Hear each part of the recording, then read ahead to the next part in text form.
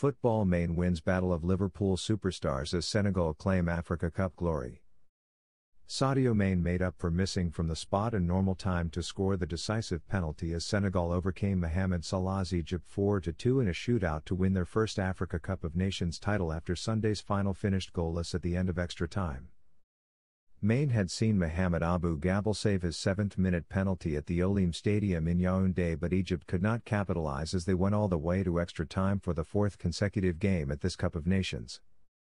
Salah was due to step up to take Egypt's fifth penalty but with Mohamed Abdelmonem hitting the post and Mohamed Lashin having his kick saved by Edouard Mendy, the Liverpool star did not get his chance and was already on the verge of tears as his club teammate Mane prepared to strike the decisive blow.